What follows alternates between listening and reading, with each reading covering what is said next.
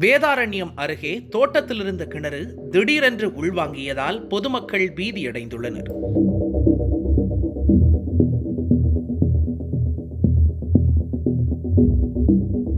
நாகை மாவட்டம் வேதாரண்யத்தை அடுத்த செம்போடை வடகாடு பகுதியைச் சேர்ந்தவர் விவசாயி கந்தசாமி.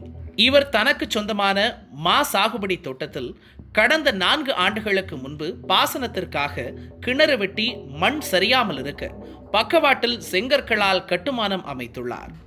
இந்த கிணற்றிலிருந்து மோட்டார் மூலம் மாமரங்களுக்கும் நிகழ் பருவத்தில் மாமரங்களுக்கு இடையே ஊடு பயிராக சாகுபடி செய்துள்ள நிலக்கடலை செடிகளுக்கும் தண்ணீர் பாய்ச்சி வந்துள்ளார்.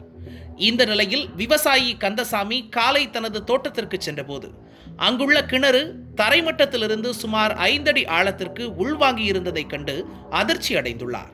இதுகுறித்து வருவாய்த்துறையினருக்கு அவர் தகவல் தெரிவித்ததை அடுத்து அவர்கள் சம்பவ இடத்திற்கு நேரில் வந்து பார்வையிட்டு இது எவ்வாறு நிகழ்ந்தது என விசாரணை மேற்கொண்டு வருகிறார்கள்.